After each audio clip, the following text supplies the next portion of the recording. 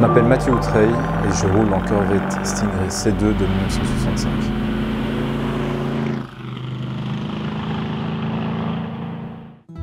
Depuis que je suis tout petit, que je sais marcher, mon père m'emmenait à toutes les foires automobiles, Rétromobile Paris, Techno Classica Essen, Spa Francorchamps.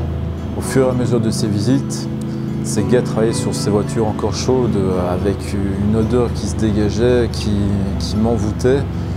Et du coup, répéter ces, mêmes entretiens, un bel changement de bougie, une vidange, faite avec mon père, euh, c'était vraiment un partage de passion, euh, quelque chose de magique, quelque chose que je pouvais partager avec mon papa. Euh.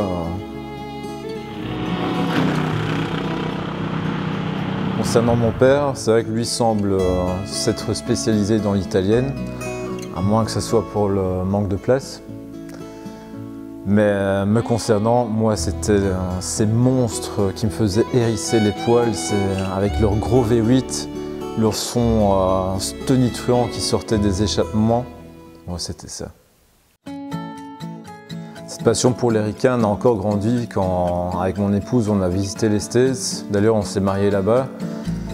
Et c'est un pays que, je veux dire, qui offre des grands espaces quelque chose de magique et rien à faire si on ne l'a pas vécu, si on n'y a pas été, si on n'a pas emprunté ces routes. C'est indéfinissable. Euh, on a vraiment eu cette impression de se retrouver euh, à l'endroit parfait, au milieu de nulle part. Quelque chose d'exceptionnel. En plus, euh, la culture américaine des 50s, 60s avec ses courses de rue, L'homme et sa machine, euh, c'était quelque chose de particulier qui n'existe plus du tout. Euh. Maintenant, si vous dites que vous lavez la voiture à la main, que vous aimez votre voiture, on vous prend pour un gros neuneu. Euh, c'est plus de notre temps, c'est dépassé.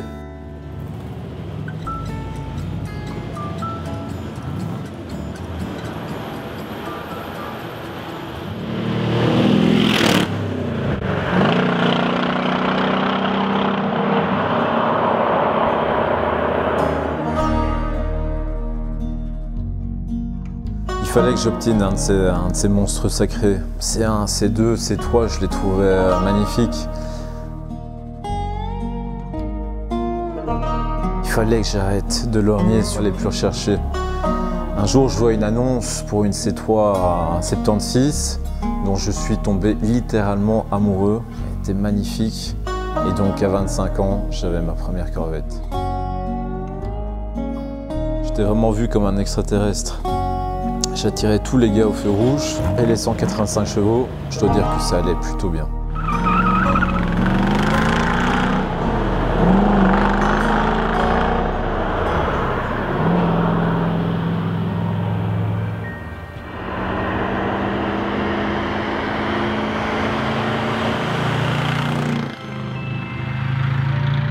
Mon amour pour la C2 n'a fait, que, fait grandir son esthétique parfaite, ce synonyme des, 60s, en plein milieu des 60s, euh, ça devenait une, réelle obsession. Il n'y a rien à faire, je m'imaginais dedans, euh, en train de la conduire, c'était complètement fou. Et puis on a été aux, États-Unis à la vente aux enchères Barry Jackson à Las Vegas. Et là, j'ai réellement vu c'était quoi une C2 propre, nickel, restaurée à l'américaine. Et à partir de ce moment-là, je savais qu'il m'en fallait une comme ça. Au bout de plusieurs mois, je tombe sur une annonce. La voiture était magnifique.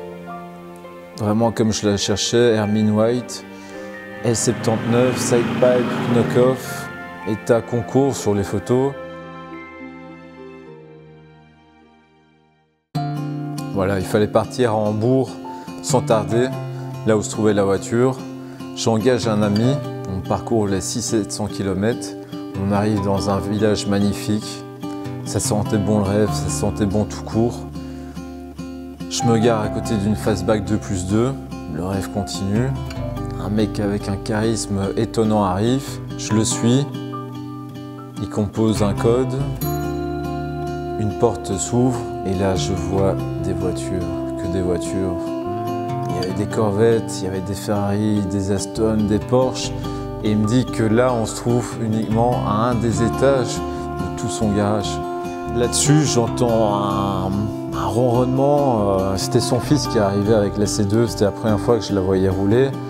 J'étais complètement subjugué. Il fallait pas que je fasse, que je transparaisse trop euh, euh, mon état. Donc venait le temps de les laisser routier. Il me demande si je veux prendre le volant. Non. je dis non, j'ai trop peur. Donc là, il me dit ok, je cherche la ceinture. Il me dit non, mets pas ta ceinture, c'est un beau jour pour mourir et une chouette façon de mourir. On quitte la propriété, euh, on prend quelques virages euh, humides, il venait d'y avoir un, orage. On rentre dans une forêt magnifique, juste une grande route, toute droite, les sapins à droite, à gauche. Je me rends compte qu'on commence à aller vachement, vachement vite. Il accélère, il monte dans les tours, je m'agrippe, je regarde le compteur, et là, je me rends compte qu'on file à 110 miles à l'heure. Je le regarde. C'est quand même un grand malade, mais le gars avait un sourire jusqu'aux oreilles. Il lâche l'accélérateur. Et là, il y a la détonation dans les side qui ont fini par me convaincre.